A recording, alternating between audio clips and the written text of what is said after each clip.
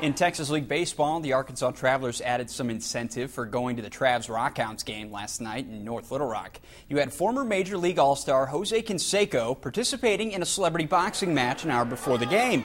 His opponent, 60-year-old Gary Hogan, former Arkansas State baseball head coach. Canseco apparently split Hogan's lip early, then backed off, gave Hogan a chance to land some punches. Either way, going the distance, and Hogan received a uh, win by decision. However, it was Canseco receiving 10 grand for coming out. Last thing I wanted somebody come out and get hurt. It's an exhibition. Had a great time. Now we get to see a great minor league game out here. I got a lot of respect for Gary.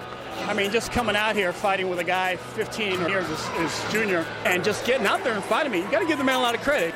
I respect the man a lot, and he's got a lot of courage. I'm used to taking shots. You know, I'm 60 years old. I don't I don't move and duck like like I did 30 years ago, but I felt good in there.